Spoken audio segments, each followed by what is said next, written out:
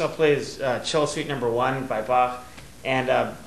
this is actually a transcription that uh, Dusan Bogdanovich, our teacher back in college, uh, made us all take the, the original score of a of a cello suite or a violin uh, sonata and and see how many basses that the other people actually put in, like uh, John Duarte and Michael Lorimer. So this is uh, my arrangement of the Cello Suite Number One.